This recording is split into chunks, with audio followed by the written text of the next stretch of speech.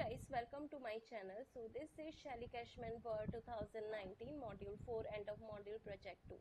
Midtown Cowork modifying and formatting tables. Here first of all we need to download this word start file which I have already downloaded here. Now let's move on to our project step. So the first step is you work for Midtown Cowork, a division of a real estate development company in Philadelphia, Pennsylvania that provides office spaces to freelancers, consultants, and other type of workers. You are creating a sales proposal describing the company services and spaces for rent and need to modify and format tables to complete the document. On page 2, merge the cells in the first column of the table in the central flex space section to make it clear the text applies to the information in all the table rows. Change the direction of the text in the first column so that it reads from bottom to top. On page 2,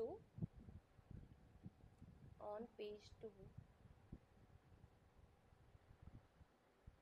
uh, merge the cells in the first column of the table in the central flex space section central flex space section to make it uh, clear the text applies to the information in all the table rows. Okay so here we need to merge the cells.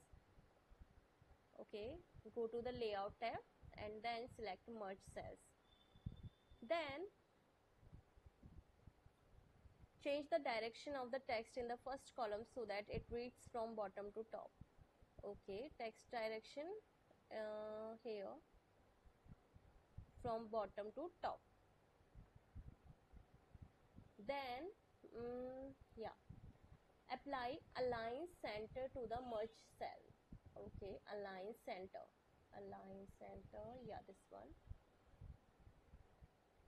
And then change the width of the merge cell to 0.6 so that it takes up less space in the table 0.6 okay so here go to the table design. No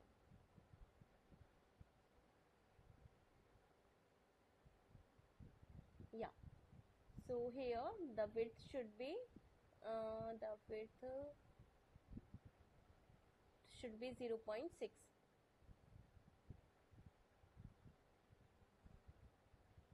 one second. I think I have done some mistake here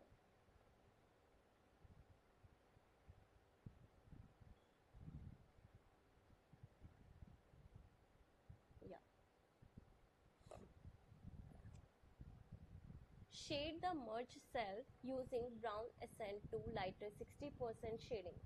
Shade the workspace hour, day and month cells using brown accent to shading. And then change the font color to white background 1 to match the formatting of the other, other tables in the document. Shade the merge cell using brown accent to lighter 60% shading. Brown accent to lighter 60% shading. So here go to the home tab in this shading group click on one second. Brown accent to lighter 60% brown accent to lighter 60%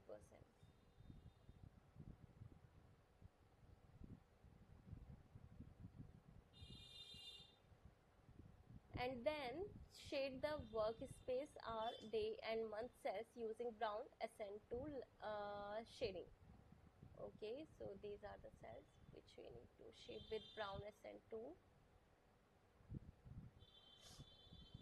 so these are the darker shade than this one. Now change the font color to white background one to match the formatting of the other table in the document. Okay. So white background one. Go to the font color and select the white background one